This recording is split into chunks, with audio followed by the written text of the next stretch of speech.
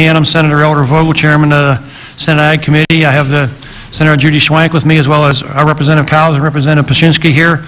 And we um, are going to talk about a very important subject, a very timely subject, uh, something that we actually moved this hearing up about a month or so because of the impact it's having, and and we feel that we need to get the information out to the representatives and senators, as well as the the public at large. So uh, I'll let the other uh, people here introduce themselves, and we'll uh, get going with Secretary Redding.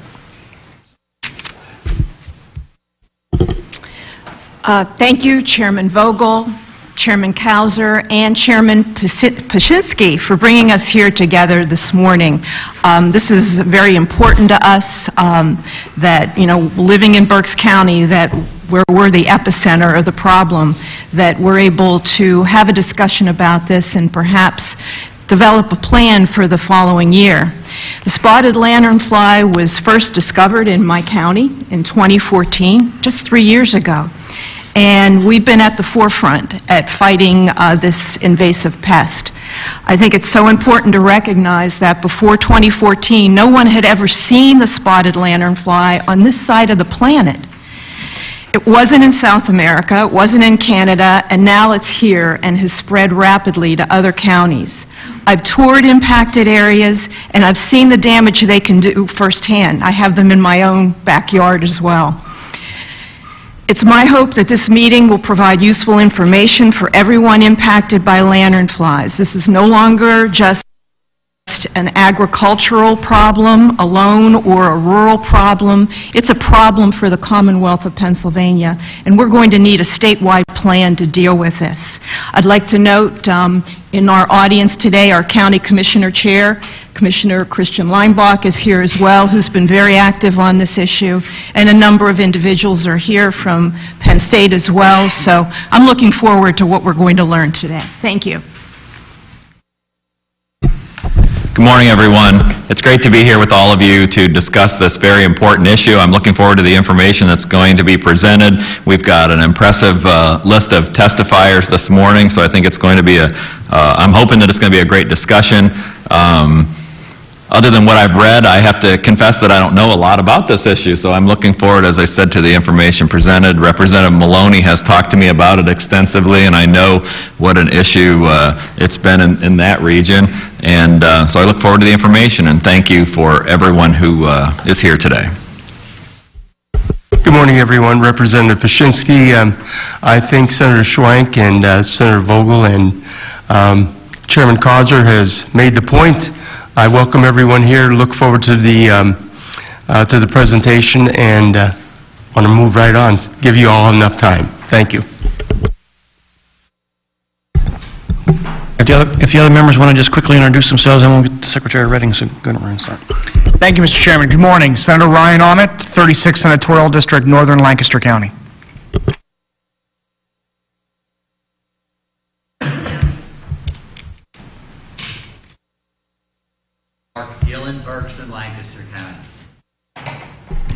Representative Marcia Hahn from Northampton County. Representative Mindy Fee from Northern Lancaster.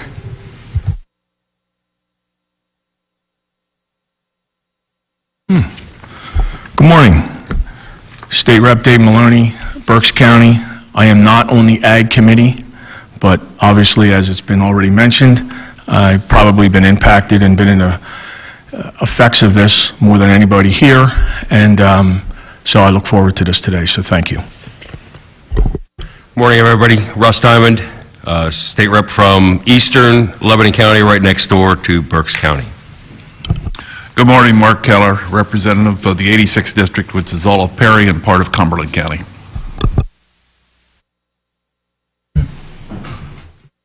Mr. Chairman, uh, good morning um, uh, to each of you, uh, Chairwoman Schwank and uh, Chairman Causer and uh, Pashinski. Thank you uh, to each of the members of the committee. Uh, Very much appreciate the opportunity to be here and to share uh, what we, uh, the Department of Agriculture, are doing to combat and uh, uh, control the spotted lanternfly.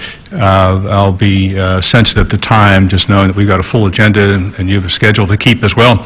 But also to say that we've got some folks on the, the witness list here who I think are extraordinary. And and they'll impart sort of what they're doing, both as public servants for the Commonwealth and U.S. Department of Agriculture, but also our land-grant university, and uh, you have two producers who will share uh, sort of the implication of both living with, but also the economic implications of the spotted lanternfly. So just want to take a moment and say thanks for your interest and continued support of agriculture and uh, uh, working with us uh, on this strategy. As uh, Senator Schwank has noted, uh, our goal is uh, you know, to come out of this meeting with a little more uh, insight and awareness by all uh, on what it is that we are confronting, uh, what the implications are to both the Commonwealth and, I would say, to the United States, uh, because this is not only about what Pennsylvania does now, it's what, what happens to us, uh, both by trading partners potentially, but also what we do in just general commerce. Uh, and that'll be uh, part of the conversation. But uh, please know that we have been working since 2014, when this was first identified, uh, to really uh, understand it, um, try to figure out the, the, the- the biology of, of this, the habits of this uh, pest. Uh, It is invasive in so many ways. Uh, We really are, are uh, fortunate to have uh, the resources we have through the USDA uh, and the human capital available to us from uh, the Penn State University, the College of Ag, and the research team. And I'll, I'll make note of uh, a couple of folks who are here in just a moment. Uh, But to say that, you know, despite the efforts, um, this pest has spread. It began uh, in Berks County, as noted, uh, at the epicenter, but now uh, really consumes the southeast part of Pennsylvania. Uh, And we fear that it's not contained there. Uh, That was part of the conversation. But all of that to say, we remain hopeful um, that we can find a uh, control strategy that allows us to um, address the issues, offer some peace of mind to the citizens of Pennsylvania and the quality of life that they expect. But we also know that we have economic implications for agriculture, uh, not, uh, uh, not just in the uh, Berks County area, but really across the state, and the potential impact of that we'll, we'll share, share today. Uh, But the hopefulness, um, you know, comes from what we've done in the past with eradicating the plum pox virus, and, and some of the members of the committee, uh, committees are are aware of that work over uh, years, and uh, uh, we're, we're pleased to say today that we were successful in eradicating the plum pox virus as one example of the teamwork uh, that went into that uh, as well. Uh, We know that we have an exceptional team, and and you'll meet uh, several of those members today uh, from the Department of Agriculture, uh, Dana Rhodes, who's our state uh, plant regulatory official, uh, as well as Sven uh, Spichiger, who's the entomology program manager, uh, Dr. Ruth Welliver. Uh, So those two are on on the- the list here this morning to offer some insight, and we'll walk you through and guide you through sort of the the background and some of the history and and our strategy but they are led by uh, Dr. Ruth Welliver, who is our Bureau of Plant Industry Director. Uh, And we're pleased to have uh, Dr. Julie Urban, who's a Senior Research Associate with Penn State University College of Ag Science, and- and uh, she is available to us today. But underscoring this is a partnership, and absolutely impossible to do without the work and support of both the U.S. Department of Agriculture, who, as you've heard me say many times, the partnership between the State Department of Agriculture and the USDA, uh, they're almost inseparable, right, both on food safety and plant and animal. This is one more, uh, one more case of that. Uh, But after uh, fighting uh, this spotted lanternfly for several years, we also understand that we are facing a new threat uh, whose uh, behavior and biology uh, continues to unfold. And, and you'll hear this morning just what that means uh, for us. So let, let me stop there. Just say thank you at the outset for opportunity. Look forward to the conversation, the questions, and dialogue that will follow uh, the presentations. Mr. Chairman? Thank you, Mr. Secretary. So at this time, we'll have uh, Sven Spichiger, Entomology Program Manager, and and Dana Rhodes from the Department of Agriculture come forward and uh, give us their testimony at this time.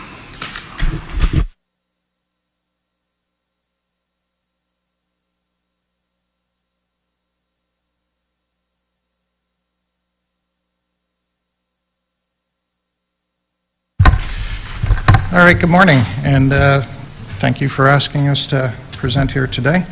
So, first and foremost, uh, as uh, Secretary Redding pointed out, this really is a a group effort, and you'll see a lot of logos up here on the first screen that we have, and that's because very, uh, very soon uh, after we found this, we started working with places like Uh, Berks County, for example, Kutztown University, the USDA, Penn State. Uh, Everybody really did chip in very quickly to try to find solutions uh, for this new pest. So I'll tell you a little bit about it. Uh, Started out with cooperation from the Pennsylvania Game Commission. An off-duty Game Commission educator actually reported this um, uh, from private property in Berks County, uh, damaging Tree of Heaven, which is also known as Ailanthus. So I'll use Tree of Heaven and Ailanthus interchangeably throughout my talk, and this is unusual, uh, and I'll I'll explain why that is later. Uh, The report detailed uh, severe damage, uh, buildup of really kind of a gross substance called sooty mold, and presence of stinging insects, and that's what really alarmed him, was stinging insects coming to his trees, and he noticed something that he didn't recognize. Uh, We visited that day, and we were able to identify something called Lycorma delicatula, which you now know as the spotted lanternfly. Uh, Now, lanternflies are really not typically found in North America. There's only 17 species. So we have about 700 species of lanternflies, which are in the family Fulgoridae in the entire world. Uh, Only 17 of them in North America, most of them in the Southwest, and none in Pennsylvania prior to this getting here.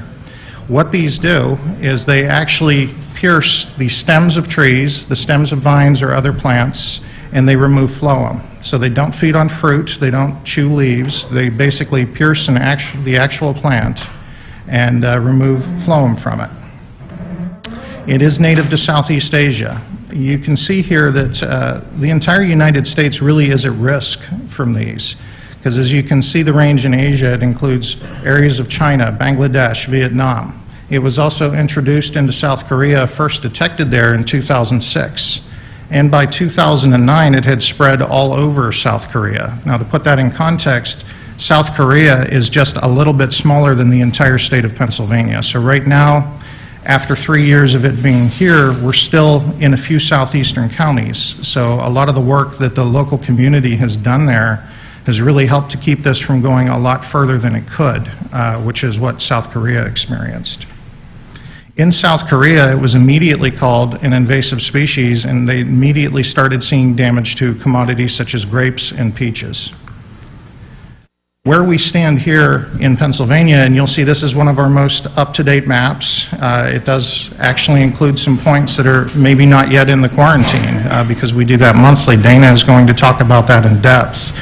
But you can see the spread is actually still relatively contained compared to the fact that in South Korea, it was all over the whole country.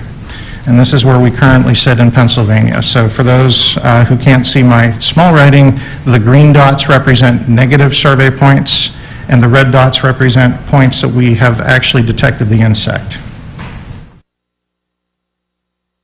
Now, Tree of Heaven is the preferred host of spotted lanternfly. Spotted lanternfly will make use of almost any plant. Uh, The actual recorded host list from its native range is approximately 78 species, and there are over 70 species we have documented uh, it uh, to make use of here in Pennsylvania. As you can see, Tree of Heaven is found all over the country, and so there is uh, potential for its uh, favorite host food uh, to help it spread to other places, other, even larger growing areas in Pennsylvania. Tree of Heaven is generally characterized by having almost smooth gray bark and by having compound leaves, which you can see here, and when you break those leaves, it has a very foul odor.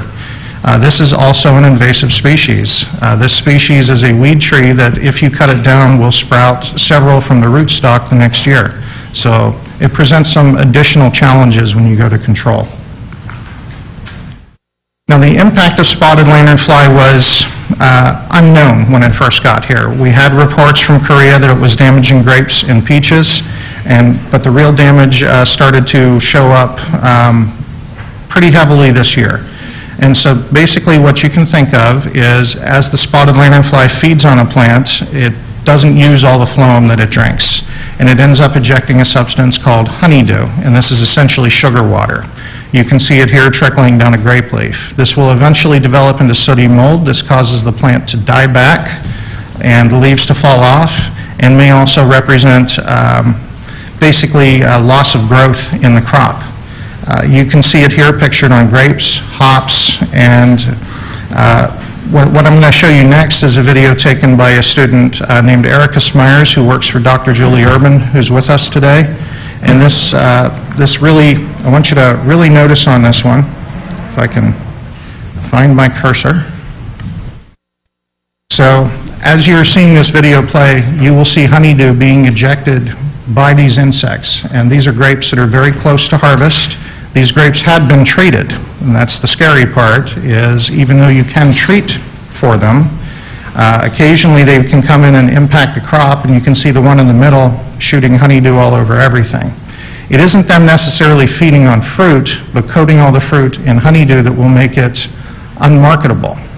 And in fact, in Korea, they have all kinds of strategies to deal with this. One of them, and their most successful one, includes bagging the grapes themselves. And uh, I actually grew up in northeast Pennsylvania, which is a grape town. You will not be able to bag the grapes in northeast Pennsylvania. It's not economically feasible. So, just, uh, just to show you the sort of numbers that we experienced this year. Other impacts this year. So previous years, we had a lot of reports on silver maple, some on walnut, but this year we got damage reported to sweet basil, cucumber, blueberry, um, horseradish. One grower even uh, documented that he actually chose to treat his horseradish, which he has never had to do before, which is kind of unusual as well.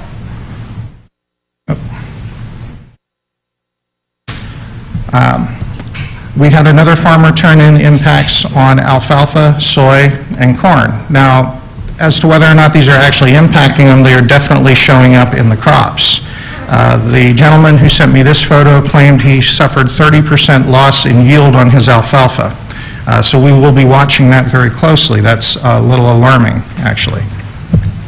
What I noticed personally and what others have reported this year was a major shift, which we did not experience in years previous, to our hardwoods industry, where those were always at risk because this is a, an active hitchhiker on hardwoods, um, and we had noticed them feeding on other trees in previous years. We had not noticed damage. This year, we noticed major flagging and dieback on the terminals of black walnut, northern red oak, shagbark hickory, and also maple. And so uh, this time, we don't know exactly what that means, but we have been working with our Bureau of Forestry folks to assess just what a threat this is going to be to them. One thing I really want you to take notice of is looking at the understory underneath where they're feeding, where you see all of the young uh, sprouts being coated in honeydew. These will eventually uh, develop sooty mold and die back.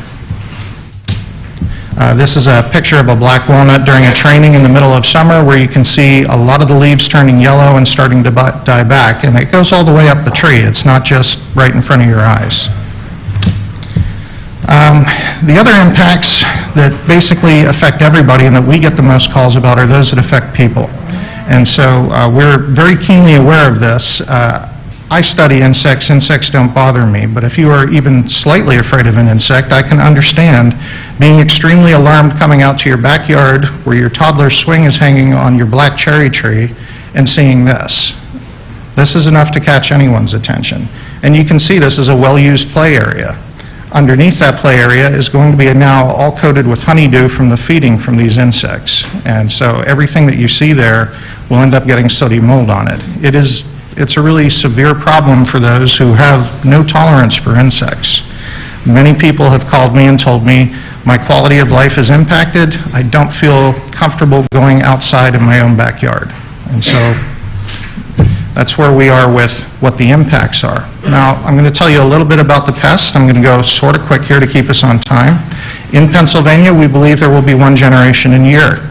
And what that means is throughout the winter, they will go through the winter as egg masses. They will hatch out starting sometime in late April, but mostly in May. Throughout the summer months, they will be immatures. We refer to these as instars. The first three are black with white spots, and a lot of people think they resemble ticks. These you will find on just about any kind of plant. Towards the fourth or last immature stage, they will start developing bright red patches, and they will start making a move towards uh, certain plant species at this time of year, uh, the most preferred one being tree of heaven. Around mid-July, they will start transforming into adults, they will mate, uh, and then spread out and start laying eggs right about this time of year. So mid to late October is when the peak egg mass laying happens. Uh, Egg masses uh, contain 30 to 50 eggs, and they're attached to almost anything you can think of. So a barn plank, uh, a rusty metal barrel, a rusty boxcar sitting along a railroad track, anything like this can actually be a good depository site for an egg mass. Uh, This is a grape post in a local vineyard, and this is a standing dead tree where I've removed some bark on the other side there. And you can see they hide them as as best they can as well. Uh, So any property owner, actually, who can find their egg masses and can reach them, can actually impact the population on their property fairly significantly by simply removing them. And this is just, you can use a twig, you can use scraper cards, which we've provided for you today, and you just scrape in a downward motion into a container and and discard it. Uh, And this can actually have quite an impact on the population on a small level, and anyone can do this. So we've been encouraging this since the first year. Uh, Immatures actually have, uh, in response to light, uh, the need to crawl up a tree every day. And you can use brown sticky paper bands uh, wrapped around a tree to eliminate some of them from your property as well. It's not a silver bullet, but it removes a little bit, and it's probably what helped keep them in check uh, a little better than what Korea was able to keep them in check. A lot, we had a lot of volunteers uh, offer to do this on their own property, and we supplied the stuff, and they were able to get through it pretty well. Males and females, um, unfortunately, will mate multiple times. The reason that is important is because most successful insect eradication programs rely uh, rely on the release of sterile male into the population. Uh, And because they mate multiple times, that makes sterile male releases not a possibility. And so we we thought we would mention that, just to let you know, we actually have explored many different ways to try to wipe these out. Uh, But the fact that they mate multiple times means they can breed, and they can breed very well and reach very large numbers. Every single life stage is actually a threat for hitchhiking, as you can see here. Uh, We believe the two biggest risks are the adults this time of year, right before they lay eggs. Uh, You can see this adult attempting to crawl into an open window of a vehicle, and also by the de- uh, deposition of egg masses. We believe that's how they actually originally got here, as egg masses on some type of a trade product. Doesn't really matter if the product's treated or not, if it is stored outside where you have a population of these, egg masses laid on a product are able to move, and they are able to survive a pretty long journey, like all the way from Asia to here. Uh, So you can picture an egg mass being laid on a train, uh, you know, like a train car. This could end up in California in a few days. And so we, we're looking at all the pathways very seriously, but the, the two we are focusing on the the most are, of course, the adults and the egg masses. I wanted to show you this, that this can actually be a real challenge. You can be very careful with your personal biosecurity. That means you can check your car to make sure you don't have any. But in a situation like this, and I hope you can make these out, uh, numbers of this insect can get so high that it is very difficult to open a car door without two or three of them flying in with you. And so, uh, everybody being careful in the core zone has really, um, we really credit that with uh, curtailing the spread to some degree. Uh, But this, these are kind of alarming numbers, and you can see just how difficult it is for people who live there uh, to try to help us out with this. Um, So the program relies a lot on cooperation and is basically uh, based on an IPM strategy. And IPM stands for Integrated Pest Management. So we learn a lot about the biology, we place tools that are available to us on the table, we make a decision on those, and then we, we implement them. And so this is really what's happened over the last three years. We've used um, the help of a lot of local officials, uh, state agencies, and of course, um, our, our research partners in the university system, including Kutztown, Penn State, uh, East Stroudsburg University, even North Carolina State, and some others have uh, joined and helped provide some answers to questions that we had. Uh, The USDA has been uh, an excellent partner here, uh, helping us develop strategies, and they continue to work on these. And as new things become available, we will certainly implement them and make sure people are aware of them. Uh, We use hired crews uh, through Pennsylvania Department of Agriculture. The USDA has chipped in uh, ground force this season to help us as well, and we also use volunteers, property owners, local municipalities, business owners have all actually really cooperated very well uh, to help us try to deal with this. Oh, Did that again. Um, So just give you some, some brief numbers. Um, So we actually have uh, had volunteers mostly, and our crew's banned almost 10,000 trees since 2014, and that's killed about a million of uh, spotted lanternfly. Egg mass scraping is very impactful. Uh, We've had about 1,000, or 1,600,000 of those killed. Uh, But ha- what has been uh, really good here is uh, the actual appearance of the insect leads to great public outreach and response.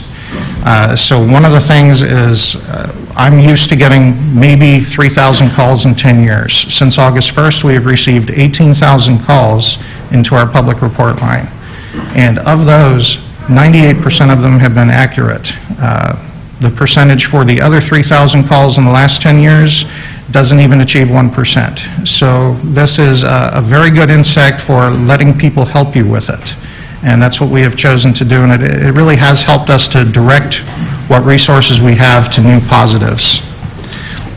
The main control method, though, that we use outside of outreach and the mechanical methods that everybody can do is actual property, property-level control. And what that means is we will do limited host removal, so we'll remove most of its favorite food source, which is tree of heaven, and then establish a few of them as what we refer to as trap trees. These are treated with insecticides. Think of this as a one-acre plot of land, and the light green trees being every other tree on the property, and think of the dark green trees as being tree of heaven. So in this method, you remove most of its favorite food source, and then you treat the ones that are remaining with an insecticide. Uh, We use dinotefuran for this. Right around mid-July, it is, uh, it has been demonstrated many times that even though they'll use every other tree, around July, they seem to need to take a meal from Tree of Heaven to complete their life cycle. And even if they can complete it on other things, they will go out of their way to find this tree. And so this really helps you concentrate the insecticide so that you're not spraying it all over the place and killing every other thing. This helps you target the pest. And this has actually been fairly effective when done well. Uh, Basically, the trap trees attract them in, and the insecticide in the trap trees kills them. And the impacts were actually quite stunning year one, and that has continued into year two. Uh, Again, though, this is a difficult thing. Uh, It's a difficult thing to teach a property owner, it's a difficult thing for folks to understand sometimes. But when done well, you actually do end up with a fair amount of kill, and properties where we have done this for two to three years, we've seen massive uh, reductions in basically band counts the following year. And so we do know it's working, but it has to happen on a much larger scale than what we've been able to accomplish. Right now, we know we have 1,462 properties that we need to get to, and we're not, unfortunately, we're not fast enough when we recognize that. And so, um, glad you have us here to be able to present all of this and talk about this a little bit today. Um, Most of our spread that we've noticed is linked to hitchhiking. It's not really natural spread. So everything the community has done to help keep this in the quarantined area has been a huge help, because when it does get out, it is basically by human-assisted hitchhiking. Um, Last thing, though, is just when you think you have it figured out, it does something new. Um, Prior to one month ago, I had received zero reports on Apple, only to have Erica Smyers, uh, the grad student working, send me this video. And this, this was a new behavior. They had not actually attacked Apple prior to a month ago, and this is alarming. This would be alarming to any grower. Uh, We responded to this by engaging the the entomologists at the Fruit Research Station in uh, Penn State, and they're developing control plans as we speak. Uh, But this just goes to show you that the insect, as it reaches a new area, will start to do new things, and we need to be ready to adapt as well. And so with that, I believe I'm going to be turning you over to Dana.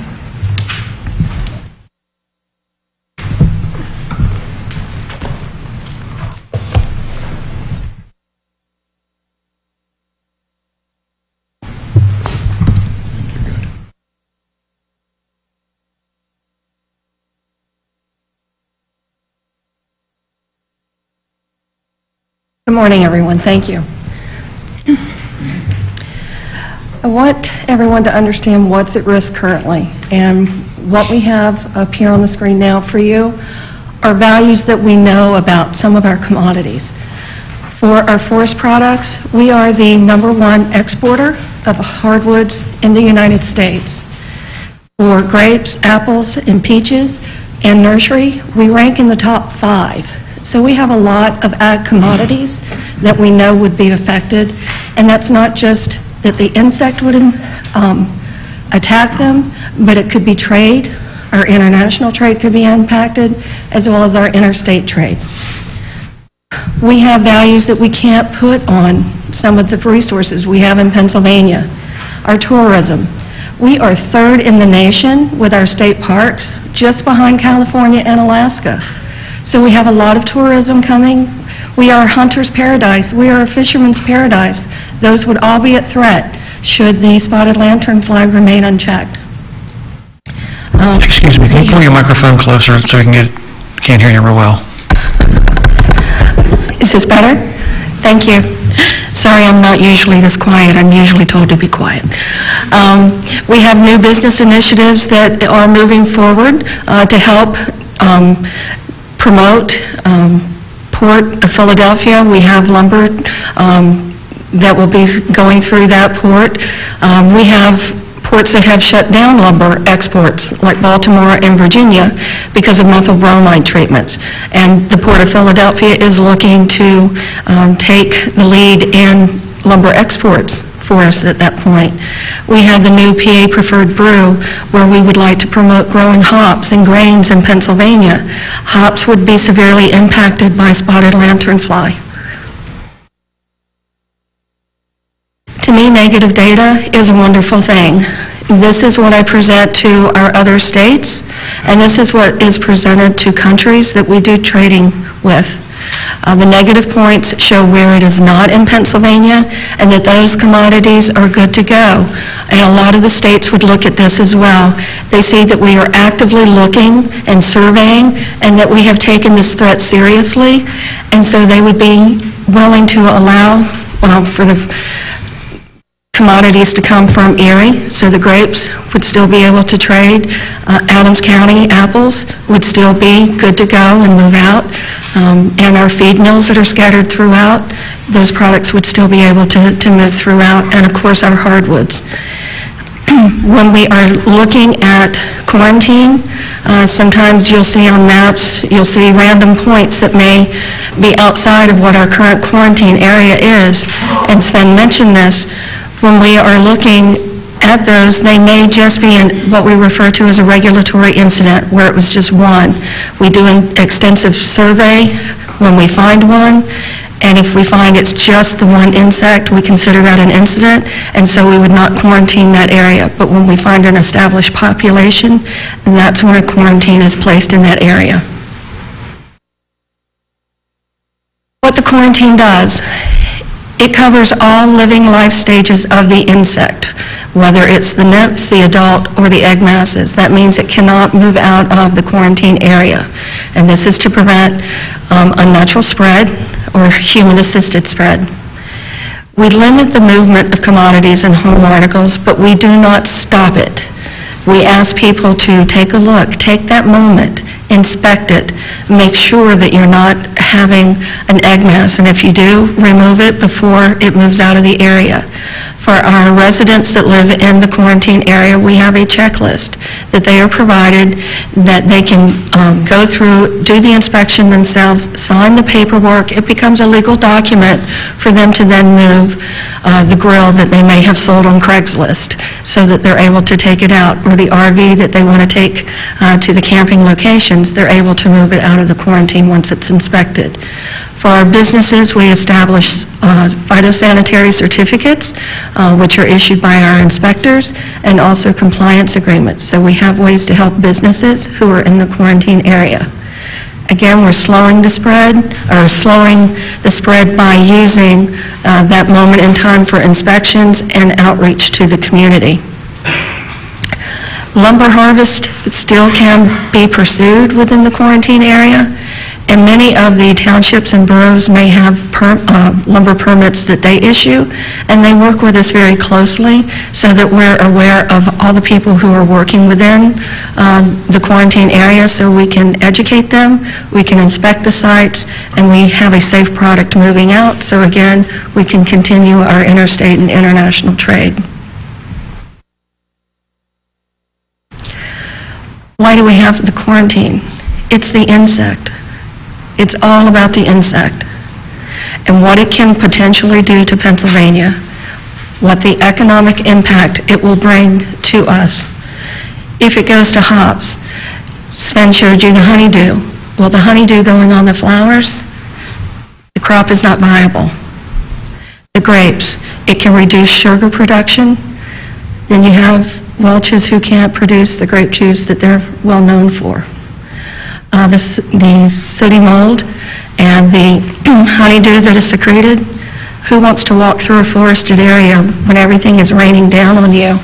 And when you talk to the residents, they will tell you it is like walking in rain uh, when you are walking through the forest. Um, And then the sooty mold takes over and makes that lovely underfoliage black. When you walk outside, who wants to see a tree covered in the insects from top to bottom? After a few years, this will impact the quality of the hardwoods. They are sucking the life out of the hardwoods when they are on those trees. It reduces our quality. This would be an ideal setting. If everything was on a small scale, we had only small families uh, harvesting their grapes or picking the apples, that's a wonderful thing to think about. This is what it really is. You have orchards that have crates lined up in their fields when they are in harvest. So they are at risk there. They may not um, do damage to the apples, but they're in the crates. They may lay egg masses on the crates. They have to be inspected, they have to be safeguarded. That takes time and labor uh, for the businesses to do that. You have open bed trucks where you have grapes being deposited. Again, the threat is there.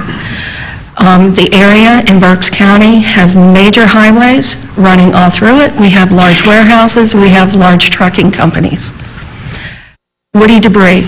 We remember what happened with Sandy and how much material we had to handle.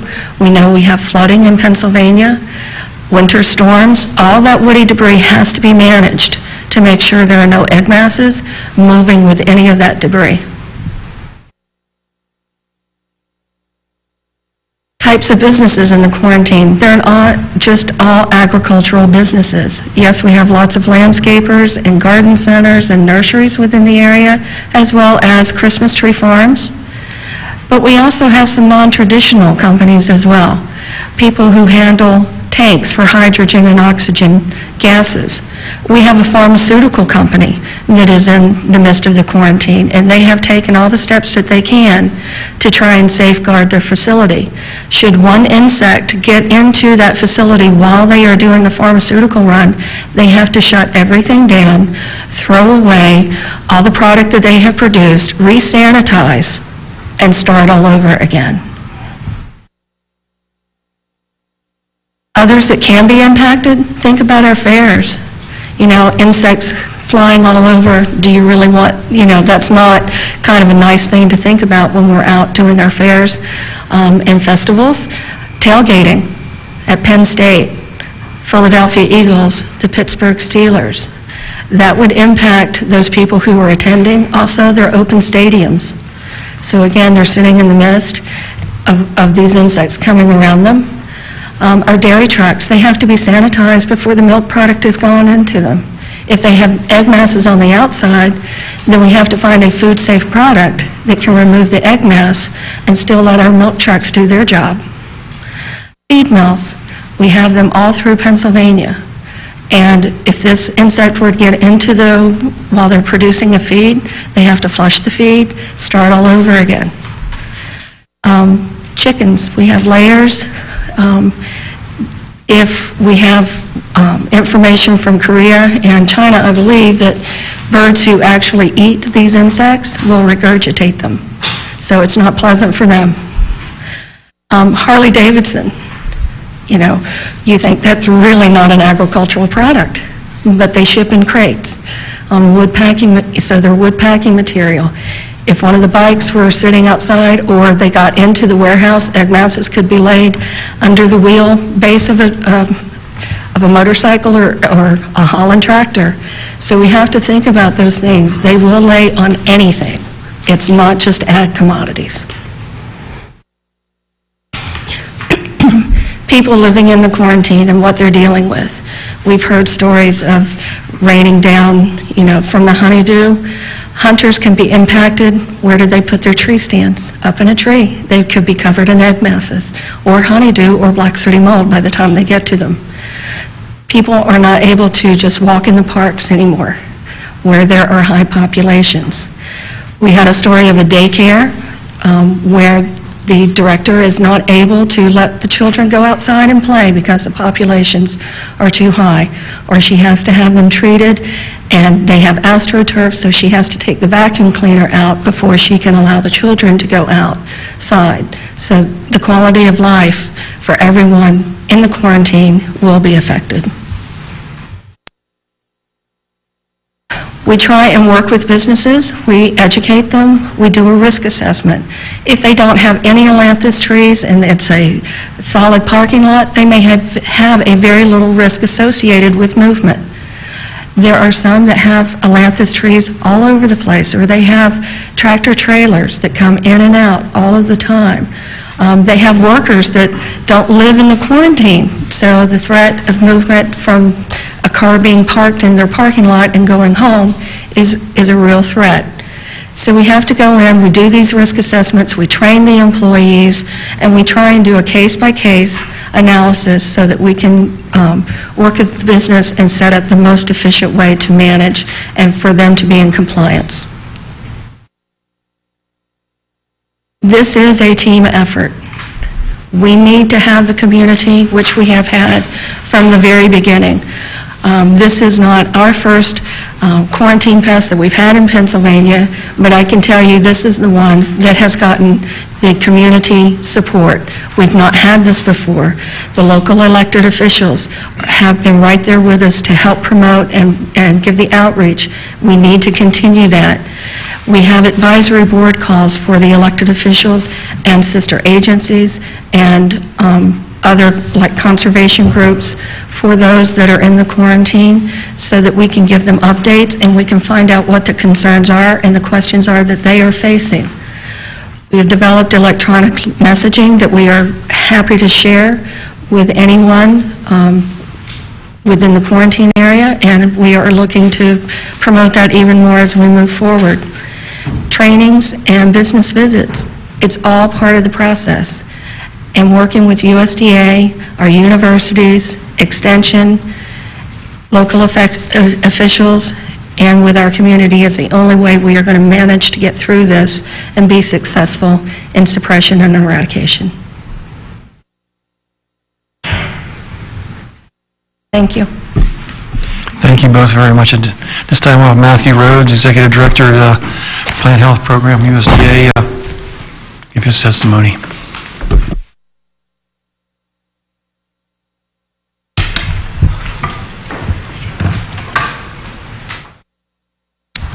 Make sure you can hear me. Okay. Um, Chairpersons Vogel, Schwank, uh, Causer, and Pashinski, uh, um, members of uh, both the House and Senate Ag Committees, um, and other distinguished uh, members. Um, Thank you for inviting the United States Department of Agriculture to come speak with you today.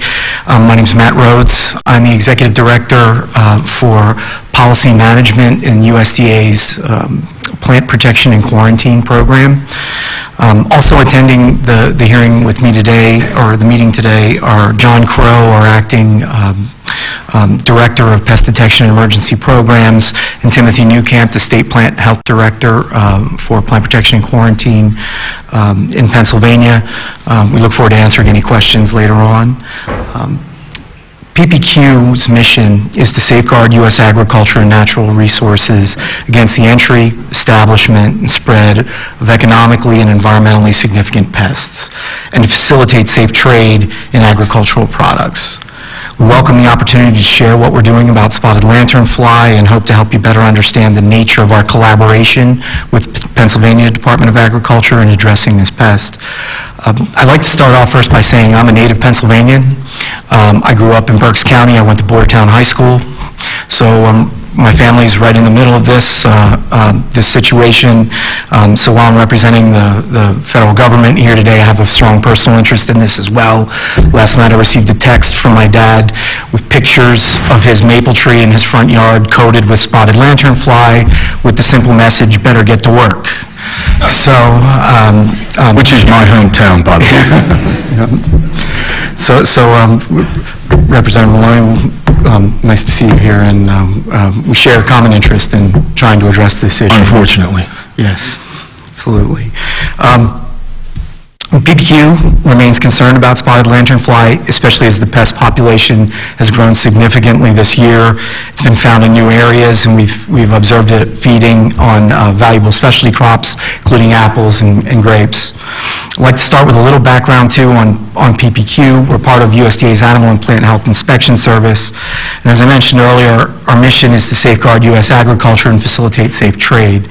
To accomplish the safeguarding part of our mission, um, we, we focus our work in two specific areas, preventing pests from entering and establishing in the United States, and then combating pests that, that enter the U.S. once they arrive um, or, and are introduced.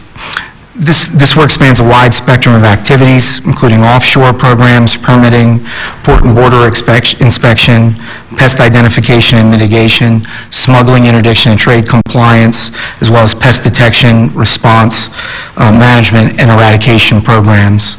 In addition to our safeguarding mission, PPQ facilitates safe trade in, in three ways. We promote the use of science-based international and regional trade standards to eliminate unfair or unjustified phytosanitary trade barriers. We expand and maintain current export markets and open new ones by resolving plant health barriers to trade. And three, we, we certify the health of U.S. exports to make sure that the United States is presenting clean products to our trading partners so that we meet our trading partners' import requirements. When a pest like spotted lanternfly gets in, we work with state departments of agriculture and industry to respond. This includes surveying the area uh, surrounding a new pest detection to determine the extent of the infestation, gathering information about the pest biology, hosts, and how it will most likely spread, as well as assessing its potential environmental and economic impact, among other factors. We often convene technical working groups comprised of federal, state, and academic experts to address key questions about new pests. When we determine that a a reproducing population of a new pest is present in the United States, PPQ cooperates with the affected states to determine an appropriate course of action. This ranges from establishing sta- state or federal programs to control or eradicate, establishing quarantines to slow the spread, providing information and technical support to affected individuals and organizations, or taking no action, depending on the circumstances. Before we can set a specific program goal, whether that's to eradicate, contain, suppress, or slow the pest spread, we have to understand the risk posed by the pest, um, especially to our country's ag or natural resources, markets, economy, um, a- and we must also determine what tools are available to control or eradicate the pest, including chemical treatments, biological controls, host removal, other measures. I want to make it clear that PPQ is committed to taking the least drastic action, but the most effective option for managing these risks presented by a new pest. In some cases, especially when there's a lack of evidence of the pest will cause widespread harm or no imminent threat of foreign restrictions on U.S. exports, the best option for regulating a pest is to let the state take the lead, which is what we've done more or less to date with spotted lanternfly. In the case of spotted lanternfly, after its initial detection, PPQ convened a technical working group composed of PPQ state and university scientists, which gathered all the available information about spotted lanternfly and produced recommendations for survey and control methods. To better inform our response, PPQ scientists visited Asian countries where spotted lanternfly is native to learn about the pest behavior and natural enemies. Also, following recommendations from our technical working group, we elected to provide PDA uh, funding to survey for the pest and control it using a combination of pesticide treatments, herbicide treatments, and tree removals, all beginning in 2014. Uh, Since 2014, PPQ has provided $5.5 million in funding to PDA to support efforts to control spotted lanternfly. While a portion of that funding supports PDA staff who conduct surveys for spotted lanternfly, the, uh, the the majority of that funding um, has been used to pay for spotted lanternfly treatments and tree removals. Um, we provided approximately $1.4 million over three years for methods development eff- efforts by USDA's Agricultural Research Service, uh, universities including Kutztown, Pennsylvania, uh, Penn State, um, um, the Department of Conservation Natural Resources in Pennsylvania, and our own scientists. Three areas of methods development where we're focused right now is developing lures, so to more accurate, enable more accurate early monitoring of spotted lanternfly, biological control methods, and optimizing chemical treatments. Regarding specific outreach efforts, we've supported PDA and Pennsylvania Extension Service by providing nearly $150,000 to optimize communication to industry and homeowners. Uh, We funded, um, helped to support much of the efforts that you've seen from PDA um, in terms of the- their outreach efforts, uh, outreach materials, supporting uh, town hall meetings and other communications. And this summer, we provided uh, a a dozen federal staff to supplement PDA staff on the ground, um, conducting survey around the outer edges of the existing infested area um, to help us better define the leading edge of the infestation, altogether bringing USDA's total investment in this pest program to $7.5 million. Given the large population of spotted lanternfly adults that we've observed in southeastern Pennsylvania this year, PPQ and Pennsylvania Department of Agriculture reconvened our technical working group in late September of this year to review the current situation and recommend strategies, adjustments to the program, as well as resource requirements that are needed for managing the extent of the infestation that we're experiencing. Based on the technical working group's findings, we reaffirmed that the best tools available to control spotted lanternfly are in fact pesticide and herbicide treatments of hosts, as well as tree removals to the extent that tree removals are cost-effective. It's a key tool in the toolbox. We try to balance the use of the tools that are in the toolbox so as to make the money go as far as possible. Um, The the technical working group reaffirmed that Ailanthus altissima is spotted lanternfly's preferred host, and it likely needs to return to Atlantis at some point in its, to complete its life cycle. But we also pointed out the need for a more comprehensive host list. There are a lot of unknowns remaining about how this pest may behave. We've learned this year that its behaviors change from year to year, as Sven and Dana's presentations pointed out. Um, The situation has changed in terms of what, what hosts um, um, the spotted lanternfly seeks out uh, under changing circumstances as it becomes acclimated to this environment. Uh, the technical working group also recommended PPQ complete ongoing work to develop an effective lure to aid in delimitation and um, detection surveys for spotted lanternfly. Specific lure will provide a better tool to help measure population densities in different parts of the state. The working group also recommended that we continue to explore options for biological control, which may provide a long-term solution for helping to manage or reduce populations. However, development of effective biological control methods often takes a decade or more, so this is not a quick fix. During our last meeting with Pennsylvania Department of Agriculture on October 6th, policy meeting that we had to talk about strategy, we discussed how the strategy for managing the pest should change in light of the latest information from the technical working group, especially considering weekly reports of detections of spotted lanternfly farther and farther from the previously established quarantine boundaries, outside of those boundaries. While the particulars of the strategy and estimated resource needs to support the strategy are not final at this point, we hope to have them clarified very, very shortly, in a matter of days. Um, We are, um, in the meantime, still continuing to recommend that we re- redirect the vast majority of program resources to the leading edge of the infestation. This approach will allow us to prevent further spread and contain the pests so that we can suppress the overall population. This approach is not without its challenges, um, given the potential for the pest to hitchhike on conveyances originating in infested areas. So to the extent that resources are available to reduce populations in the core of the infested area, um, that will be extremely helpful in protecting the human-assisted spread of the pest as well.